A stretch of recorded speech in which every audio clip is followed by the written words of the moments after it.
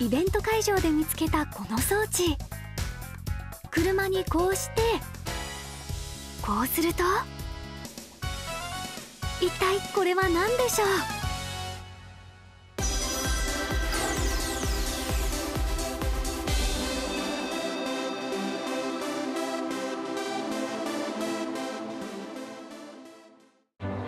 東京ビッグサイトで行われた国際福祉機器展。会場では車椅子の人も乗りやすいコンパクト電気自動車やこれぐらいの段差なら苦にしない電動車椅子など最先端の福祉機器が披露されました。さらにこちらはこれを車に取り付けることによってスイッチ操作一つで車椅子を車に収納することができるように。こちらはトヨタの車椅子収納装置。重さは7キロですこれをトランクにセットして車から電源を確保。レールを取り付けると電動リフトの出来上がり。車椅子を楽々収納できるんです。さらに助手席に回るとレバーを引いて座席がくるり。ターンチルトシートです。シートを回すと座面が下に向かって傾くので。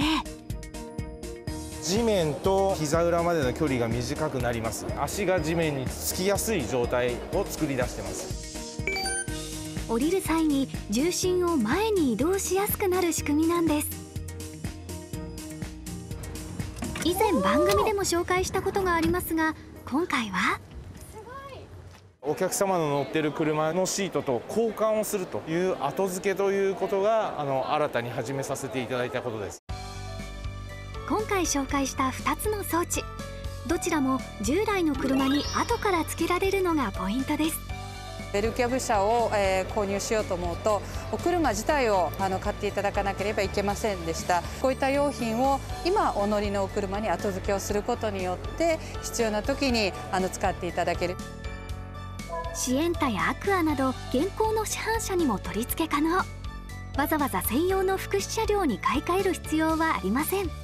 ご迷惑をおかけするというようなところであのご遠慮がちでなかなかあの外出の機会が少なかったかと思います。モビリティフォーオールというようなあの思いでこういった用品をご提供させていただいております。